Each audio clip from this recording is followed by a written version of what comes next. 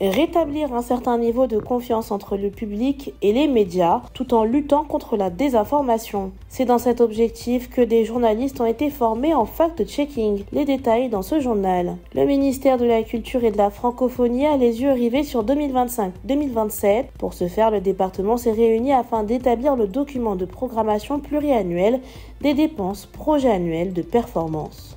Et direction Bouna en fin d'édition, où cinq mois après la pose de sa première pierre, la caserne de gendarmerie territoriale a été inaugurée. Mesdames, Messieurs, voici les titres de ce 7 minutes. Bienvenue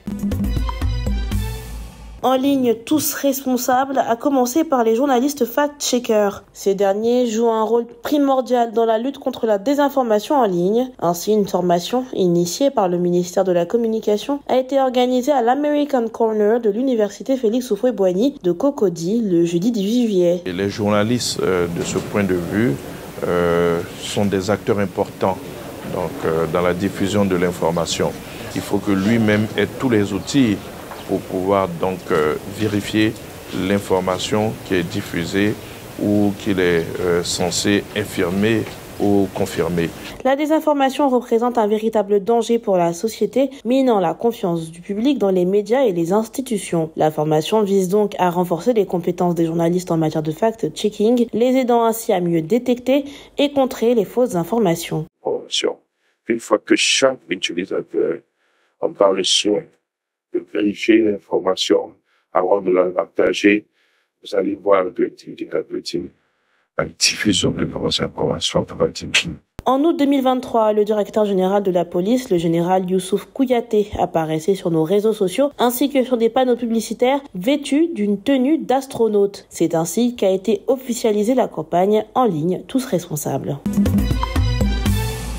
le futur culturel de la Côte d'Ivoire pour les trois années à venir passé au peigne fin. Pour ce faire, un atelier a été organisé autour de la mise en œuvre du document de programmation pluriannuelle des dépenses projet annuel de performance 2025-2027. L'objectif principal de cet atelier était de discuter des priorités et des stratégies à adopter pour les trois prochaines années. Notre démarche qui a été participative et rigoureuse répond aux besoins de produire des documents de qualité intégrant les préoccupations des acteurs des différents secteurs concernés, les orientations de la feuille de route de Madame le ministre, en cohérence avec les orientations stratégiques contenues dans le plan d'action et de développement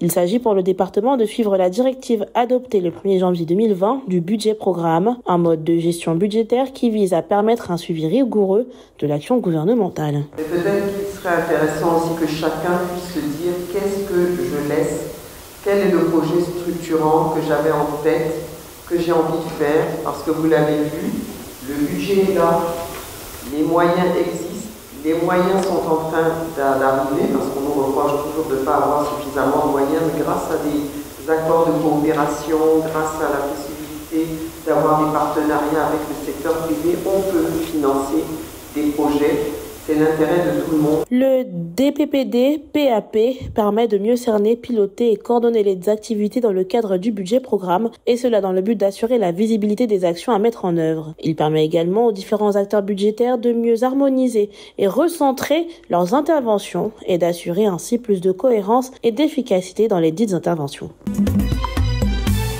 Après son album intitulé La Lumière, sorti en 2018, l'artiste Shelina C revient sur la scène musicale avec un nouvel opus intitulé Élévation.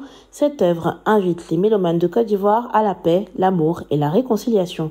Dieu a sa main sur cet album-là et Dieu va m'élever. Élévation veut dire élever. Voilà. Et c'est un grand, un grand mot que j'ai, mis sur, sur l'album qui est prophétisé.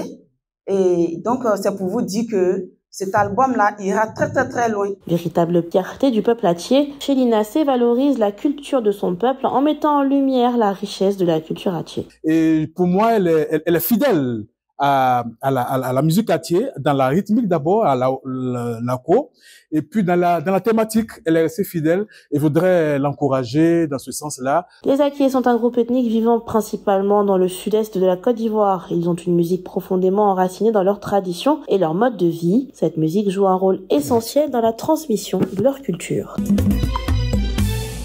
Cinq mois après la pose de sa première pierre, la caserne de gendarmerie territoriale de Bouna est aujourd'hui une réalité. Le bénéficiaire final, ce sont les populations à travers la gendarmerie. Ça, c'est important à souligner, qu'on ne dise pas, c'est la gendarmerie, mais la population, qu'est-ce qu'elle reçoit? La population va recevoir de la sécurité. Ça, c'est important. Et on recrée du lien entre les forces de défense et de sécurité et les populations.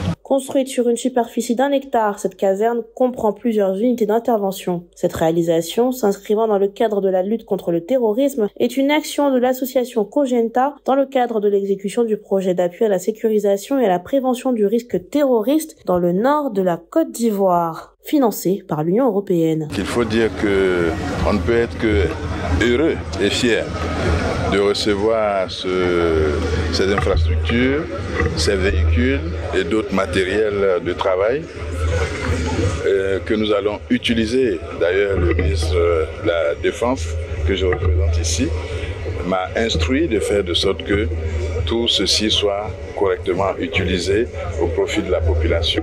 Face à ce joyau et à la joie exprimée par les populations, l'ambassadrice de l'Union européenne n'a pas manqué d'exprimer sa satisfaction. Le projet avait vraiment comme objectif de aider à renforcer la gendarmerie nationale en termes de formation, aussi en termes de formation par rapport à leur interaction avec la population, ce qui est primordial pour euh, augmenter en fait le lien de confiance avec les populations.